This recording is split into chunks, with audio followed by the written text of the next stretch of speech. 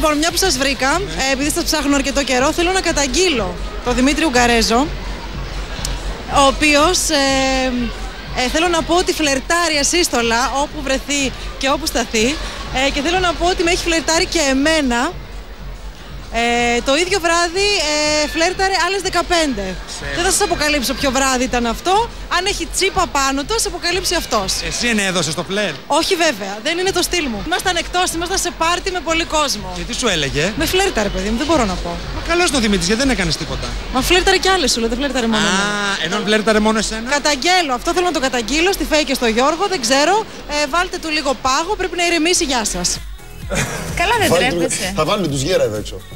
Καλά, εσύ την πέτυχε όλες τι γυναίκες με Παιδιά, δεν ισχύει τώρα. αυτό, Ξεφτύλα. δεν ισχύει. χρειάζεται. 15 Καταρχάς, Συγγνώμη, βράδυ και βγαίνει Λιάκη 16. επώνυμα η γυναίκα και. δεν τον θέλει η κιόλας. Γαλλία Γίνεται. έχει- Έχει λιόπετα η έχει Λιάκη. ιδιαίτερα τους τελευταίους μήνες φοβερές επιτυχίες. Είναι αλήθεια αυτό. Γιατί Αυτό αφήσανε δεν την έχει κουβέντα. να Όλοι μου λένε Μαρία και τα λοιπά. Εσύ την έπρεπε σε όλες, λέω. Δεν την Είσαι γι' αυτό. έπρεπε. Άλλο, άλλο Ένα το κομπλιμέντο, θέμα. παιδιά, το φλερτ είναι ζωή. Ένα κομπλιμέντο. δεν είναι- Το θέμα όμω είναι η ζωή να μας κάθεται και κάτι, ρε Δημητρό. Δεν πειράζει. Γιώργο. Δηλαδή, άμα. Συγγνώμη, για να δούμε το ποσοστό.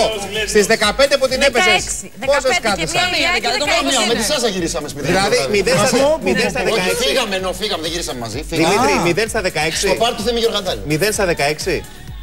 Ρε Γιώργο, Πρώτα δεν απ' δεν όλα, μιλάω για αυτά. δεν εάν μιλάω. βάλουμε κάτω. Αλλά το φλερτ είναι Συγγνώμη, ζωή. συγγνώμη, Παρακαλώ. Αν βάλουμε Όλο το κάτω βράδυ τις με ένα- γυναίκες που ήταν καλεσμένες στο πάρτι του Θέμη, Ναι, ναι. 16 και μισές θα ήταν παντρεμένες.